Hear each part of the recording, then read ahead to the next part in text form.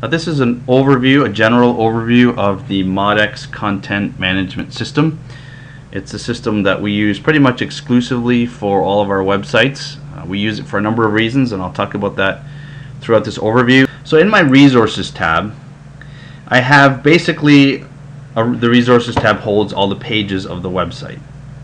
So you can see that I've got home, our current programs, uh, audio which is in, which is grayed out who we are, events, contact, Google, Google Map is grayed out, slideshow, and page not found. If I look back at my actual site, you'll see here that this corresponds to my menu. And audio is not showing, and Google Map is not showing. They're grayed out. So we'll get to that in just a minute. But these are my pages. Now, if I want to move pages around, and this just shows you how easy it is to to use the system, I just simply drag and drop. So I don't want who we are in this spot anymore. I want it behind the events page or after it. I hold my mouse down on who we are, I drag it down, and you can see this long gray dotted line here. I let go, and all of a sudden it's now behind it, and when I refresh my page, okay, we're gonna we've just put who we are, and we're gonna put it behind latest events. When I refresh, it automatically moves moving pages around in MODX is absolutely so simple. I can also create levels very easily.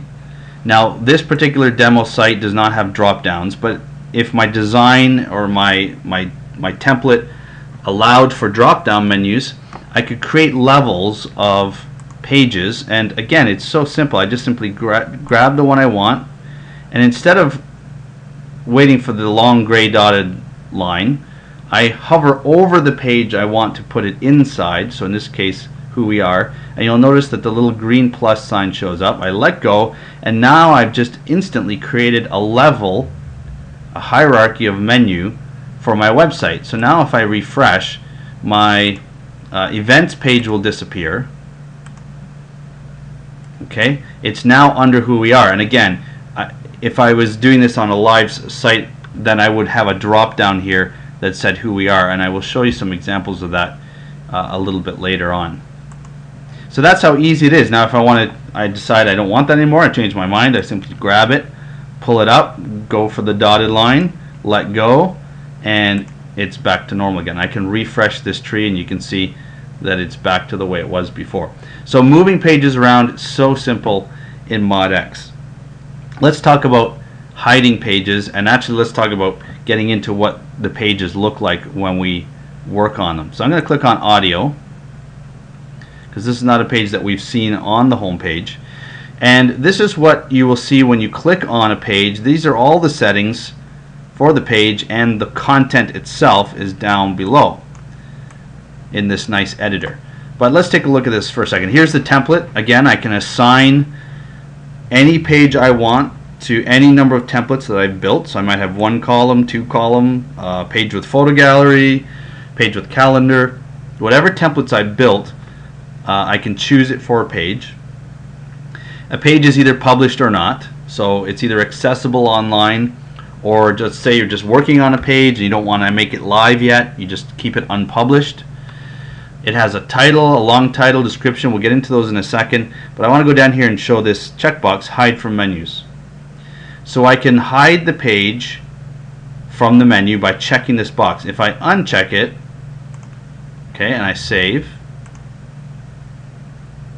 now when I go to refresh, my audio page has now appeared.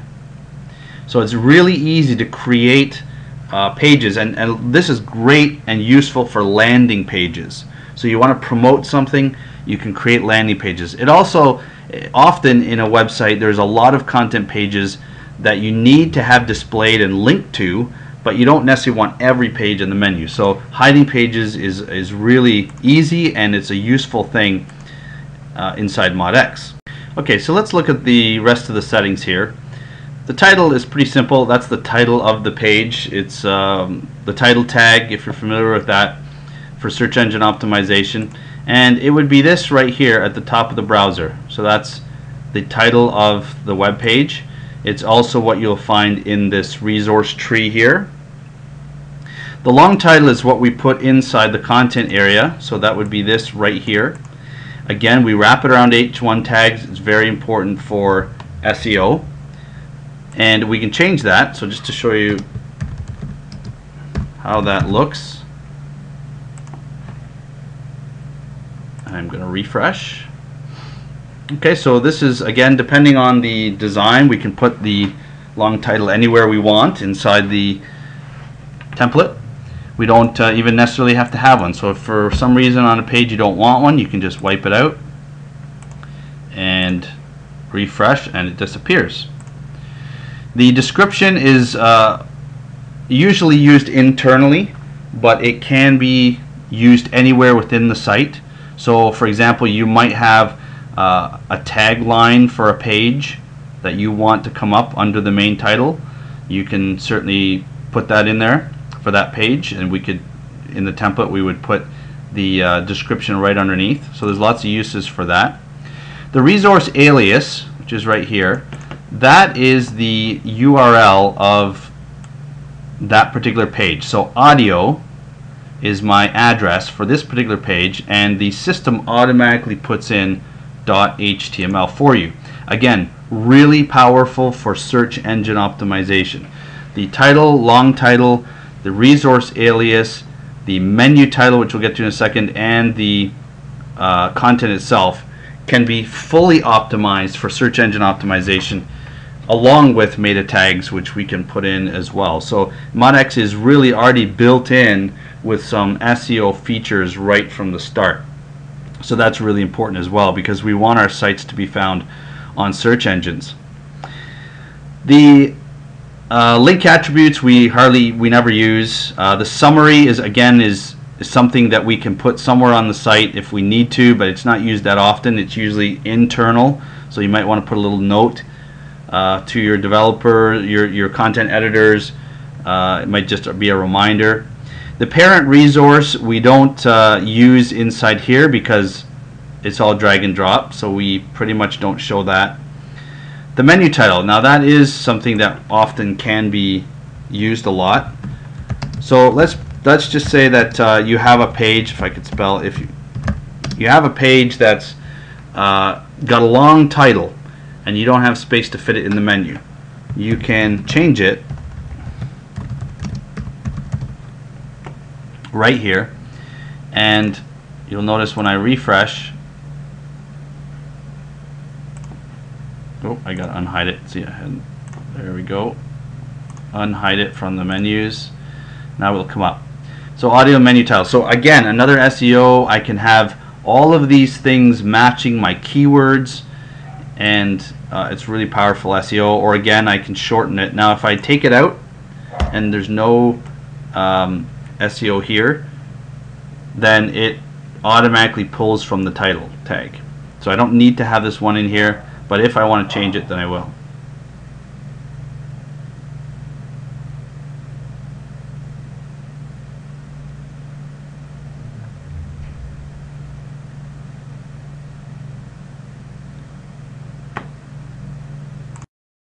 The menu index, uh, again, we don't use because the drag and drop feature, but that's that you can control it from here as well.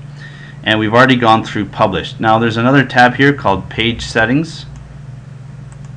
This is more advanced most of the time. Um, your content managers won't need to use these settings, um, but they are available under certain circumstances if, if we find a need for them. The one that we do show most of the time is the published on uh, and published unpublished date. That means you can set a page to come onto the website at a certain time and to come off the website at a certain time. And that's really great for timed events. So say you have an event running and you've got a page that talks about that event, but it's only for a period of time, then you can have the page automatically come on, say at midnight, and automatically come off the website when that event is over. So that's that's used quite a bit for uh, any any event or timed content uh, that has a time limit to it. The rest of these uh, pretty much are not shown to the content editors. Um, they're useful mostly for administrators. Now here's our template variable section. This is where you would actually find the unique elements for a single page. So I'm going to concentrate on the sidebar content. So here we have, if I go back to my audio page, right now there is no sidebar content in here. There's just a green bar. But I want to put some in. So here I have my sidebar title and my actual sidebar content. So I'm just going to put in here audio sidebar title. Okay, save it, refresh, and now my audio sidebar has gone up above my little green box. Now I'm going to put some content in here, and again you can see that this is a full editor. So let's just go ahead and uh, this is the content for the audio page. Sidebar save it. And I'll refresh. And there we go. It's appeared on the right. So template variables again easy to use. You know they're just simple text boxes or content boxes. Um, here's a, a, a, template variable or a set of template variables that manages a slideshow. Here's a template variable that manages a photo gallery so there's lots of things that we can do with template variables and uh, I think you get the point of how they work. Now here's the actual content of the page. And if we take a look at it you can see and I've just done this for some examples um, we've got all kinds of editing ability inside the content area. And it's really easy to use. It's very similar to Microsoft Office. You've got bold, italic, underline, strike through, sub subscript, superscript, and you can see those in action right there, underline, strike through, bold, italics. We've also got uh, bullets, okay, which you can see there. And we've got numbered lists, so you can have, instead of bullets, you can have numbers. We've got indent, outdent, which pushes the uh, content. Okay, so there's a numbered list. Um, you've got left justify, center, right justify, full justify. Okay, so you've got all the same uh, options that you're used to using. We can also create different styles, and we often do this. So you might have a blue header style. You might have um, different colors, green, blue, different sizes, large, medium, small. You've got all kinds of options for editing the styles. You can also change uh, the actual content or format, sorry, of of uh, text by clicking this little double A icon. And here you've got all kinds of options for fonts. You got different options and we can install more. Uh, you can change the size of the of the text uh, by different parameters. You can change the color. You know, you've got all kinds of color options there. You can change the weight of it. Is it bold? You know, how thick is it? Is it uppercase, lowercase, sentence case? You can change the background of a of a, uh, a text piece of text. There's all kinds of options in here. We won't get into all of them. You can put borders around them. Um, you can apply these and you can really learn to make some very uh, interesting looking web pages and content. There's also uh, these options to paste from Word, Microsoft Word, or paste from plain text. You always want to use one of these when you're pasting from Word because Microsoft Word adds hidden code when you paste from Microsoft Word or Excel or PowerPoint or any of those and you paste, try to paste it into a web page, there's actually a lot of hidden code and that hidden code usually messes up the website so it doesn't look the way you think. And so we always paste Microsoft Office content into the web content by using one of these two options. Now we can also add images and um, there's lots of options here. I won't go into them all other than to say I'll just add a quick one here. You click on this little insert edit image button and I need to pay, put my cursor at the beginning of the paragraph that I want to add the image to So I'm going to click this and it comes up with you know some options. If I have a, an image that's sitting on another website, I can just paste in the URL or I can go to my server. So these are files that are sitting on the server and I go to navigate to where my content is. So here's and I've got a content folder and I've got images and I've already uploaded a few of these images if I wanted to upload more to from my computer to the server I just simply click this little upload files button and then I add and then I can click uh, and upload any number of photos. I can click I can upload video I can upload audio I can upload photos. Now in this particular case uh, I want to upload photos because I'm inserting a photo. So then I just choose the one I want and I click insert. Now you're gonna see that this is gonna be really big okay? It's, it takes up the whole size. So I want to resize it. So I click on it I right click and I choose insert edit image okay? So I'm going to edit it this time. I'm going to go to the appearance tab and it's it's 768 by 768 that's way too big. I'm going to put it down to 250 I hit the tab key and it automatically changes the exact proportion that I want.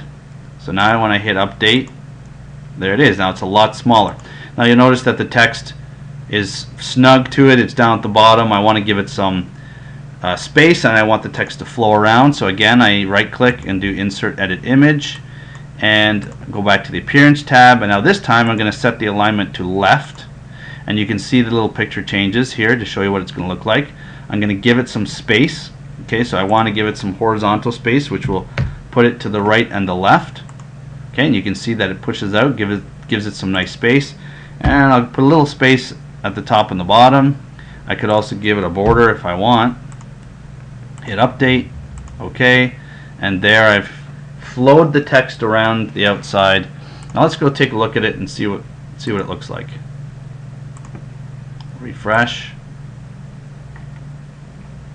And there it is a nice image with a nice little border some space and the text wrapped around it.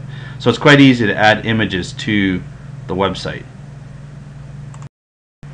We can also create links to other pages or to other websites. So if I want to take this text and I want to create a link, very simply I just click on the little chain icon.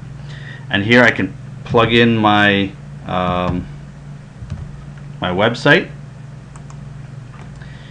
and I can choose it to open in this window, open in a new window, which is usually a great idea when you're linking to an external page.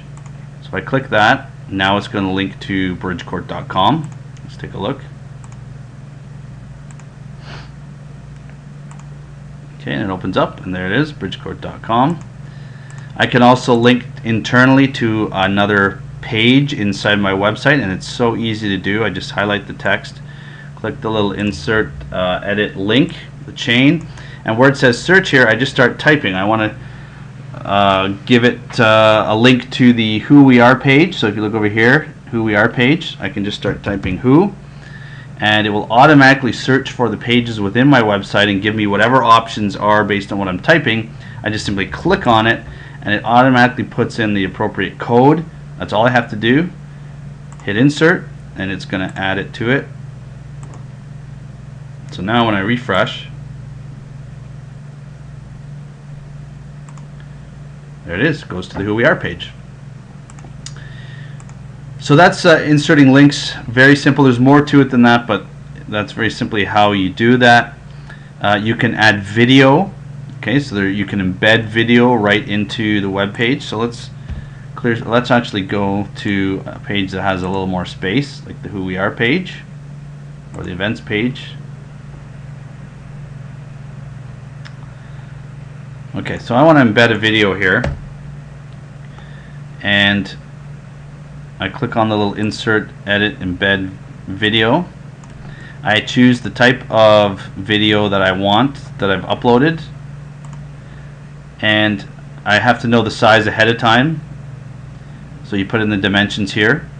And then I click on, well you can, you can embed it from an address if you have it on a different server or a different website or again you can browse to the what's called the MODX browser which we've seen before.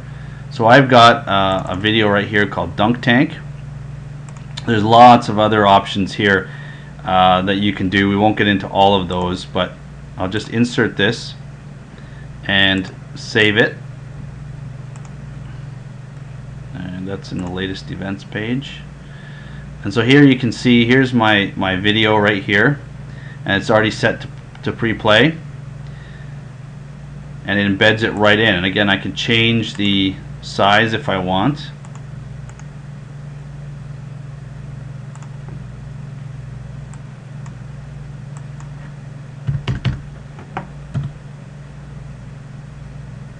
Okay. Change the size. And there it is bigger so there's uh, lots of options for content. Now this isn't showing on here. We're doing some testing but this would show up as a box with a little icon that shows that it's embedded video. You can uh, clean up messy code. So if you've got code that isn't working properly you can you can clean it up. We we recommend that you remove formatting which is a lot easier. So if, if you've got say for example this is bolded text and I want to get rid of the bold I just simply click the little eraser type thing here icon and it removes the bold. And so for whatever you've got uh, that you want to clean up you can use that. Toggle editor means I can actually see the code. So if you're embedding something with other code or you have some knowledge of code and then you can always go in and see the code at any time. So that's an over very quick overview of content and page content within MODX again the power comes in template variables access permissions again if you were having different departments or different divisions then administrator could set up pages that are specific only to those departments or divisions and that's all they would see so that's a real quick overview of the document settings. So that's it for the MODX overview. So much more we could say, but uh, that gives you a quick overview of how easy it is to manage content, how flexible the system is, and how the sky's the limit as far as what you want to do with your website.